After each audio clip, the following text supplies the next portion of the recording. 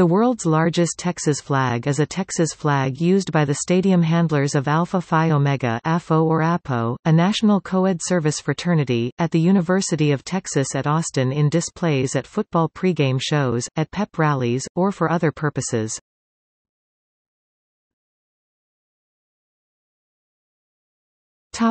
Current flags Three Texas flags are in use. Topic field flag The largest flag is used for pregame flag runs at all home football games, at the annual Red River Shootout game, and at bowl games as allowed by bowl management. The newest incarnation of the field flag was purchased in July 2007.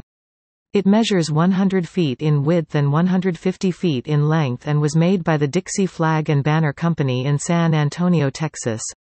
The former flag still used for some occasions measures 75 feet in width and 125 feet in length 23 by 38 meters, and is the first of the flags to have the 3 to 5 ratio.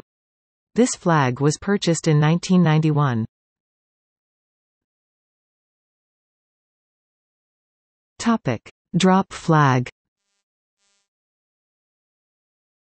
A smaller flag is used for pep rallies, 40 Acres Fest and other special events that take place in front of the university's main building. Its measurements are 75 feet in width and 125 in length and was purchased in 1991. This flag was originally used as a field flag. The flag is lowered from the president's balcony. The previous drop flag was purchased in the mid-1970s, measured 66 feet wide by 120 long, and was originally used as a field flag.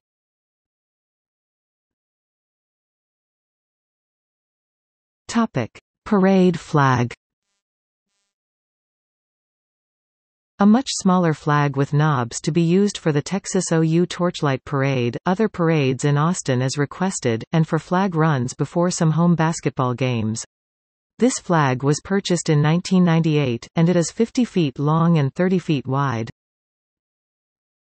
Topic history The original flag was given to Texas Governor Price Daniel by Mississippi Governor Ross Barnett during the halftime show of the 1962 Cotton Bowl after which Texas beat Ole Miss 12-7. The flag was meant as a gesture of Southern hospitality from the citizens of Mississippi to the citizens of Texas. Governor Daniel later gave the flag to the Longhorn Band.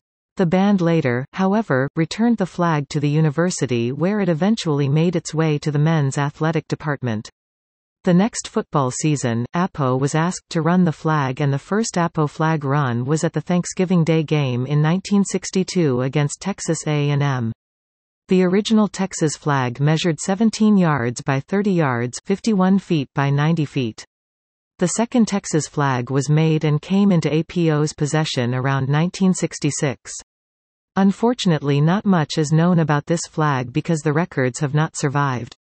It is assumed to be roughly the same size as the first flag.